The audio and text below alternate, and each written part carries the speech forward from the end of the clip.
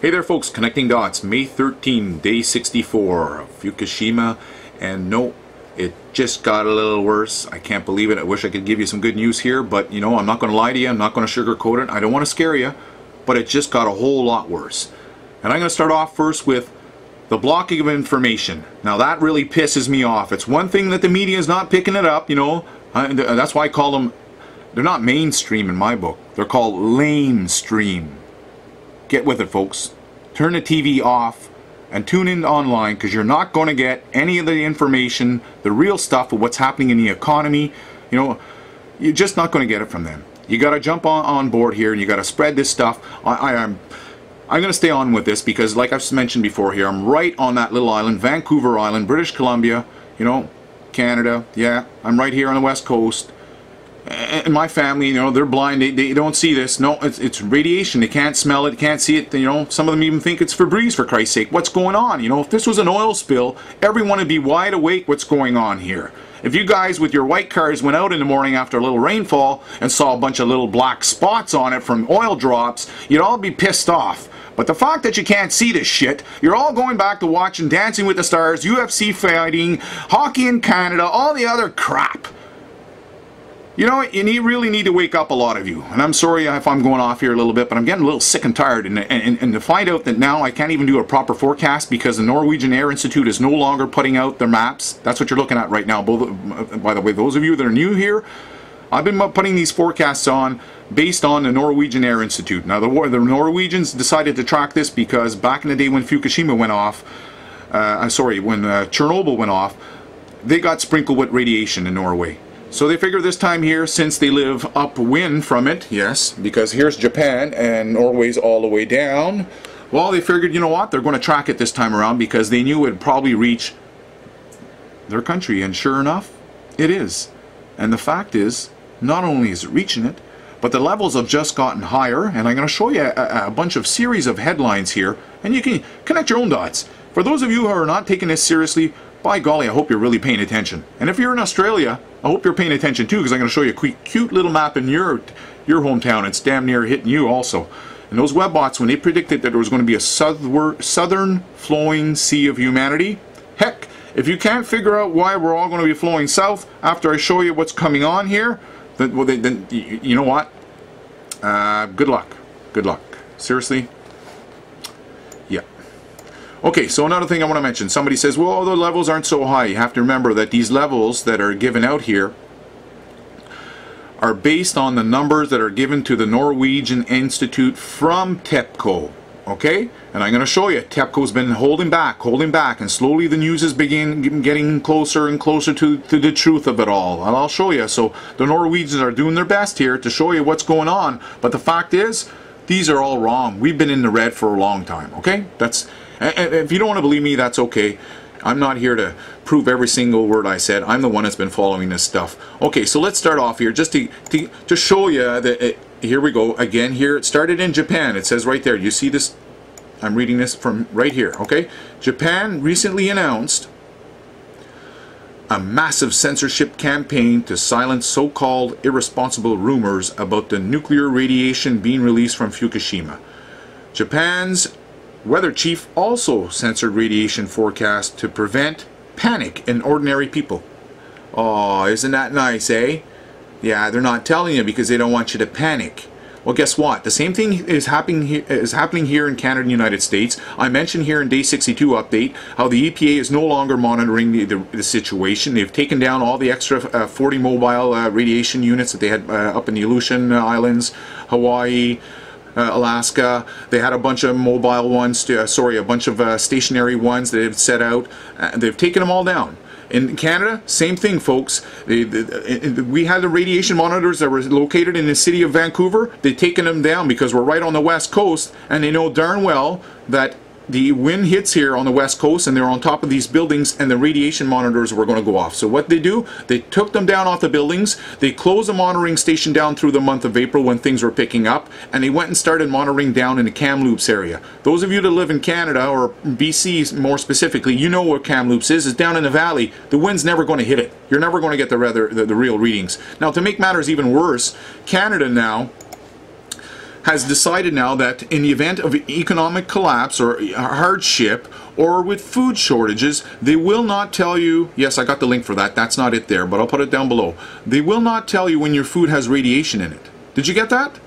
You Canadians, you need to favorite this. You need to tell your friends. I'm going to put the link down below in, in, the box of this video. It says show more. Go click on show more and there's a link there from the Canadian Health Canada. It tells you right there the event of food shortages or economic hardship. They don't want to tell the Canadians. They're not going to tell you there's radiation in the food. They're going to export it too, I believe. They're not even going to tell exporters. And uh, the reason why? Same as the Japanese. They don't want to create panic. So enjoy eating your radiation food because guess what? This is not going away. So like I mentioned, things aren't getting better. Again, Bloomberg News, Japan reactor core damage worse than feared. Delaying cleanup. And by the way, how long do you think the delaying is? No, not just a couple of months. We're talking years now.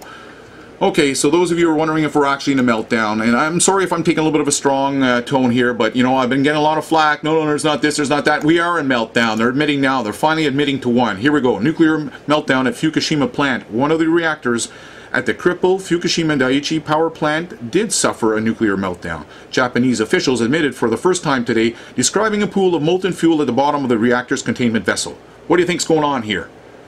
You guys need to snap out of it here. They've admitted to one. I'm willing to bet anytime soon we're going to find out that there's two more that are melting down. There's all kinds of troubles here. You guys, you need to uh, stay on top of it. I'm not going to read all the the, the, whole, the, entire, the entire story here, but you guys, like I said, go click on show more and you can find out for yourself what's going on. Read the entire story. I'm just going to go through the headlines so everyone knows what's going on. Okay, here we go again. And it all started back here. April 23rd was the first time where they started releasing a little bit of truth and they said right here, Japan admits Daily radioactive release from Fukushima at 154 trillion becquerels, many times higher than previously announced. Nuclear uh, Commission blames calculation error. Come on, give me a break. There was no error. They knew damn well. They didn't want to create a panic. So it's all about releasing the information once, you know, a little bit at a time. So there's no panic here. It's sickening. Okay, so like I mentioned, the NILU, Norwegian Air Institute, ends public forecast as map shows large radiation clouds now over US and Canada. Yeah, I'll get to the clouds. That's May 12th there. I'll get to those. Don't worry. Yeah. You know, I don't want to set off the panic, but I'm letting you know it's not getting any better. And here's another one here. Real severe problem cooling unit number 3 reactor. Hydrogen explosion possible. Okay, you can go read the story. I'm just giving you headlines so you know the situation's not getting better. It's official. Fukushima was hit with a full-blown nuclear meltdown. Pool of radioactive lava could be melting its way out. Okay. Next one, government official. It is fact that nuclear fuel melted a hole through reactor number one. Situation at number one reactor could escalate rapidly if the lava melts through the reactor vessel fears that reactor number 3, which contains MOX plutonium fuel, may have suffered a meltdown. And by the way, if you don't know what that MOX plutonium fuel is, it's what they refer to as a dirty bomb. It's 10 times more radioactive. It's the, the spent fuel rods. I, I, mentioned it before that every one of these reactors, and there's 400 of them around the world, the United States has 23 of them, but right at Fukushima there's 6 of them. We have problems right now with 3 of them. Each reactor in the core itself is equal to a thousand atomic bombs. However, once those fuels are, the fuel rods are no longer good, they no longer give out the, the heat necessary to boil the water, create the steam to turn the turbines to make the electricity, those rods are called spent fuel rods. They're, they're, they have to be kept cool anyways. They're put, unfortunately, in these type of reactors, they're put on the second floor of the reactor. So when the reactor blew up, not only are you looking at a thousand atomic bombs within the reactor, but you're looking at 10 to 20 times more radiation within the spent fuel rods, which is the MOX fuel. Folks, you really need to catch up on this stuff. I'm going to put some links here on radiation fallout. Go find out what's a dirty bomb. Go. You need to get prepared. This is all going to be up in the north. It is in the northern hemisphere. You'll see when I go show you these maps. You're not going to like it here. Okay, again, Japanese nuclear expert says melting has now made cooling very difficult. Man, I wish I had some good news here. You know, I, I don't like saying this stuff, but you're not going to hear it on CTV or anywhere else, any, any other station. They're not talking about this stuff. TEPCO admits multiple holes found in bottom of number one reactor's pressure vessel.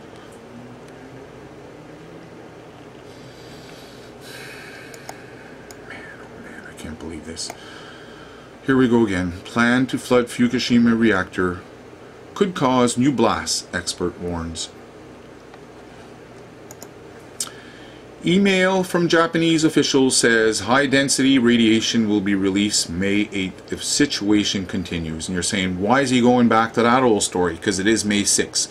I just want to let you know that this was all planned. They know damn well that the radiation was going up. They announced it in the news that it was about to go up on the 8th, and that's why we find ourselves today, May 13th, and there's no no longer a radiation forecast map being put out. It's no longer being released to the public. I'll show you one here that we've gotten in through the back door here. You're not going to like the radiation that's spewing out, folks. I'm sorry. They're, they're, they're doing everything they can to hide this stuff, and uh, it's sickening. It's really just really sickening. I can't believe it, but I want to let you know that it started on May 8th where we first got the release here what was coming down the pipes. And this is the map that uh, well a lot of you don't want to look at but uh, I'm gonna be damned here if I'm gonna hide the truth and you know let you all think that it's all fine. Yes that is all of North America. Unbelievable but you know what? If you look down below here you see how it kind of cuts off there at the right near the end of Florida and uh, well there's nothing in Mexico there at this section uh, uh, uh, at this time right now. But you realize how there's almost a clean line here? Well that's the end of your uh, not the end but that's where kind of dies off the, the northern is right there. So you got a high ridge pressure in there that's keeping most of that radiation up in the northern hemisphere. And that's the reason why the rut, the webbots had predicted that there's going to be a southward flowing river of humanity. Can you not see it now? Those of us that have done the education we know we want to protect our kids and anyone else you know unless you're like 65 and over and you don't really care then you don't really I guess you can keep eating radiated food and breathing in the radiation because like I'll put a link here at the end of this radio from CTV uh, at the end of this video. At the end of, uh, of the video here you'll see a link and it's uh, from CTV News and he interviewed uh, Gordon Edwards um, as a second night after Fukushima and he's blatantly honest and tells you how there's hundreds of radioactive particles spewing out of Fukushima. So if you want to sit there and pretend this is not happening it's happening, okay? And we're not, we're, this is not down here in the, at the light. We're all the way down at the other end here, okay? It's, yeah. Okay? That's xenon gas 133. And you know when xenon gas 133 is detected? Is what? Well, go watch the video that I'll link up here and you'll understand that when you got xenon gas 133, there's hundreds of radio other, other radioactive particles. And the ones that are hardest to detect are the ones that are nastiest uh, towards people, that, that they harm you the most. Okay, I gotta finish this up unfortunately here, so I'm going to be using this map here because I have a feeling that the uh, back door here that I'm going to give you guys a link to in the description box, make sure you go take a look at it, will be closed soon. And this map here, uh, again, it starts from the um, earlier on and you can see as it progresses on here, uh, you'll see how the whole thing, you know, what was that? March. So you'll be able to see how it progresses on. And that's cesium-137 right there okay? That lasts uh, what is it? 30 years half-life 30 years. Mm-hmm yeah. And then no it's not gone in 60 years. No no no it takes longer than that. So don't you know don't be fooled by the the half-life thing okay? Okay next one. Like I said I got a few of them here I want to show you that, that are not good. And uh, that's uh, iodine 131 like I said the date's right there in North America,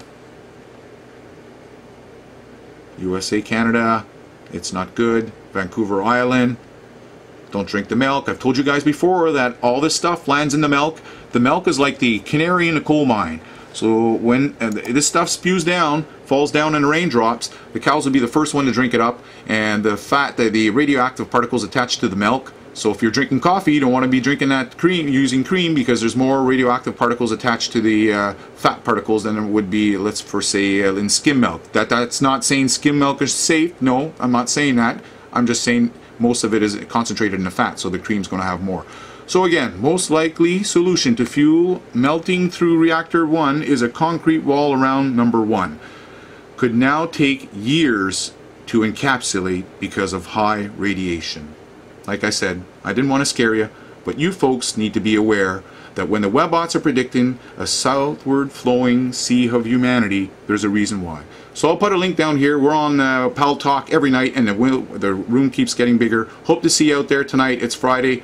Pass this along. Give it a favorite. Everyone needs to know. Take care, folks. Have a good weekend.